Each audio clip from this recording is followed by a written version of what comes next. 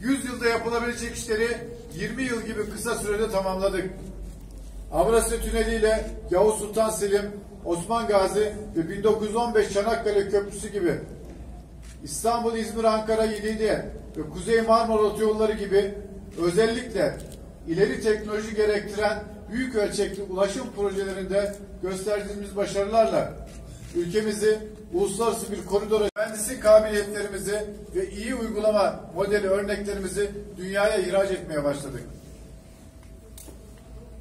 Ulaştırmada Türkiye'nin tarihini, ülkemizin başarı hikayelerini hep birlikte yazdık.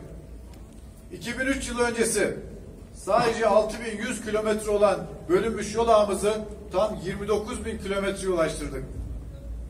Artan taşıt sayısına da Cumhuriyetimizin 100. kuruluş yıl dönümü olmasının yanı sıra 20 senedir inşa ettiğimiz dev eserlerle Türkiye'mizin geleceğinin Türkiye yüzyılının işaret fişeği olacaktır.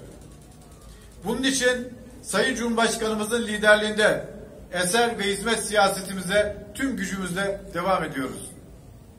3665 kilometre bölünmüş yol yapımına devam ediyoruz. Tamamlamanın gururunu hep birlikte yaşıyoruz.